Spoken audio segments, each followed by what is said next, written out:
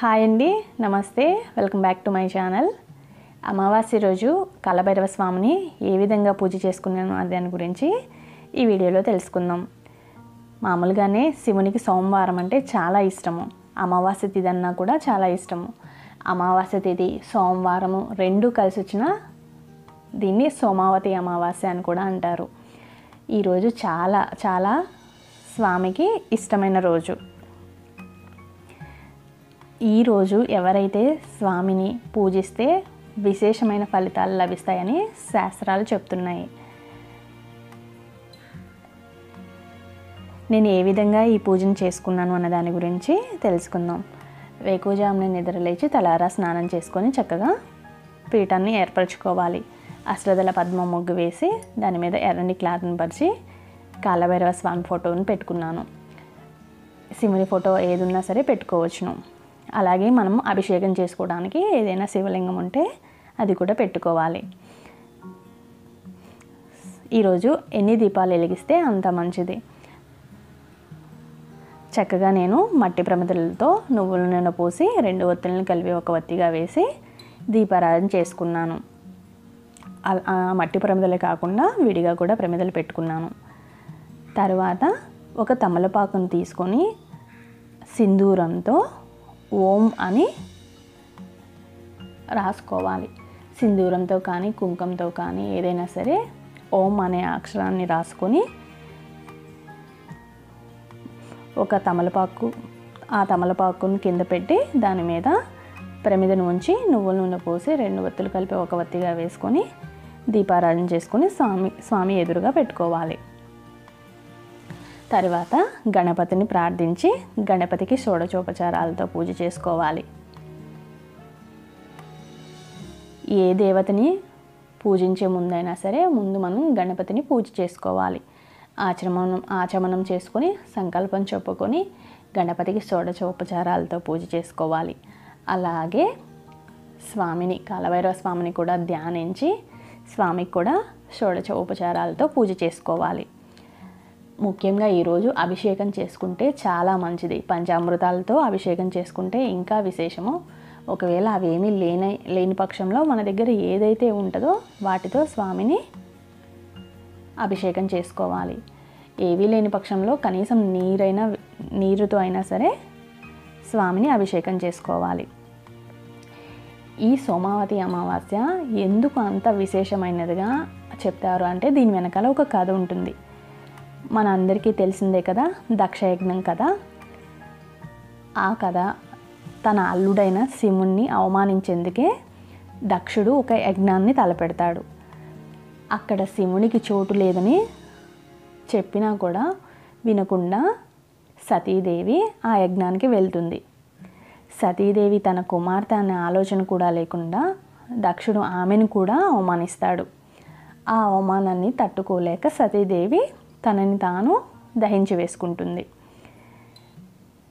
సతీదేవి చనిపోయిందన్న విషయం తెలుసుకొని శివుడు చాలా కోప్పడతాడనమాట తన వెంట్రుకతో వీరభద్రుణ్ణి సృష్టించి ప్రమదగణాలతో పాటుగా ఆ వీరభద్రుడిని కూడా దక్షిణ మీదకి దాడి చేయడానికి పంపిస్తాడు.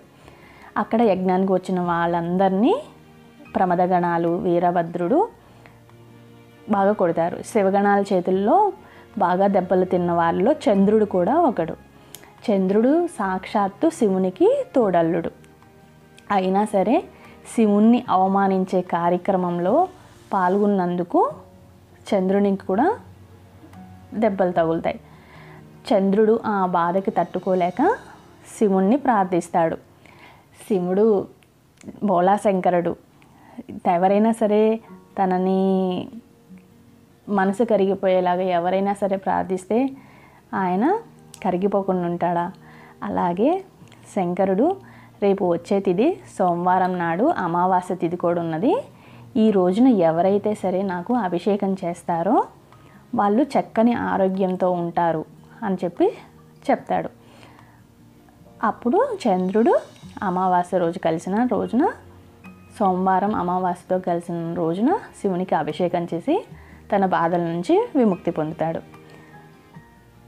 అప్పటి నుంచి సోమవారం నాడు వచ్చే అమావాస్యని సోమావతి అమావాస్య అని పిలుస్తారు. సోముడు అంటే చంద్రుడు. అలాగే శివునికి కూడా సోమేశ్వరుడు అని కూడా అంటాం మనం. ఇలా ఎవరైతే సోమావతి అమావాస్య రోజున శివునికి అభిషేకం చేస్తారో విశేషమైన ఫలితాలని పొందుతారు.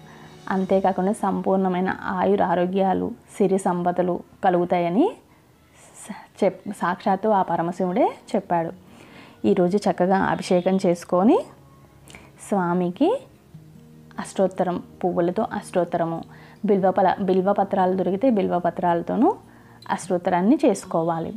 శివ పంచాక్షరి నా నామాన్ని స్మరిస్తూ చేసుకోవాలి. అంతేకాకుండా శివుని యొక్క సూత్రాలు చదువుకుంటూ అమ్మవారికి కుంకుమ పూజ చేసుకుంటూ అమ్మవారి అష్టోత్తరం కూడా చేసుకోవాలి. ఇలా సోమావతి అమావాస్య రోజు పరమశివుణ్ణి చక్కగా పూజించుకోవాలి. స్వామికి ధూపదీప నైవేద్యాలు సమర్పించాలి.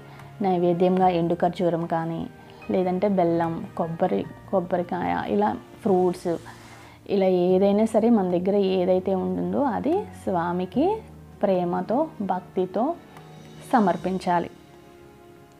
ఇలా స్వామికి నైవేద్యాన్ని సమర్పించి స్వామికి తాంబూలాన్ని ఇచ్చి కర్పూర నీరాజనం ఇవ్వాలి. తర్వాత మంత్రపుష్పాన్ని సమర్పించాలి. పూజలో కానీ లేదంటే ద్రవ్యాల్లో కానీ ఎలాంటి లోపాలు ఉన్నా సరే మన్నించమని కోరుతూ స్వామిని ప్రార్థించాలి. ఈ విధంగా సోమావతి అమావాస్యను చేసుకోవాలి. అమావాస్య తిథి అంతేకాకుండా ఈ పూజ చేసుకోవటం వల్ల నరదృష్టి నరగోళ ఇలాంటివి ఏమున్నా సరే పోతాయి. చక్కగా స్వామి దగ్గర వటిక భైరవ మంత్రాన్ని కూడా మూడు మాలలకి తక్కువ కాకుండా జపించాలి. ఒక నల్లటి దారాన్ని స్వామి దగ్గర పెట్టి మంత్రాన్ని జపిస్తూ తొమ్మిది ముడులుగా వేసి అది అమావాస్య రోజు కాలికి కట్టుకున్నా కూడా ఎలాంటి నరఘోష కానీ ఎలాంటి బాధలు కానీ లేకుండా ఉంటుంది. అంతేకాకుండా ఈ అమావాస్య రోజు ఇంకొక చిన్న పరిహారం కూడా చేసుకోవచ్చును. ఒక ఎర్రటి క్లాత్ తీసుకొని అందులో పీచు లేని కొబ్బరికాయని పైన ఉన్నదాన్ని కూడా తీసేసి క్లాత్లో వేసి రెండు యాలకులు రెండు లవంగాయలు పచ్చకర్పూరము ఒక రెండు నాణ్యాలు ఏదైనా రాగి నాణ్యము ఇలాంటివన్నీ ఉంచి చక్కగా స్వామి యొక్క వటుక భైరవ మంత్రాన్ని జపిస్తూ దాన్ని తీసుకొని వెళ్ళి గుమ్మానికి బయట కట్టాలి. ఇలా కట్టడం వల్ల కూడా ఎలాంటి నరఘోష కానీ నరబాధ కానీ దృష్టి దోషాలు కానీ ఏవి ఆ కాలభైరవుడి అనుగ్రహంతో ఏవి కలగకుండా ఉంటాయి. అందరూ ఈ అమావాస్య రోజు ఇలాంటి పరిహారాన్ని చేసుకోవచ్చును. ఈ అమావాస్యకే కాదు ఏ అమావాస్య రోజైనా ఇలాంటి పరిహారం చేసుకోవచ్చును.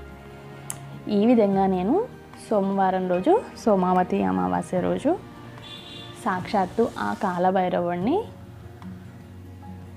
పూజించుకున్నాను.